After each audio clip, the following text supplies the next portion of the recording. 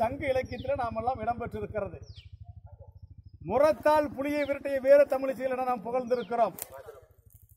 சங்க இலக்கியம் படைத்த வீர தமிழிசையில் என புகழ்ந்திருக்கிறோம்.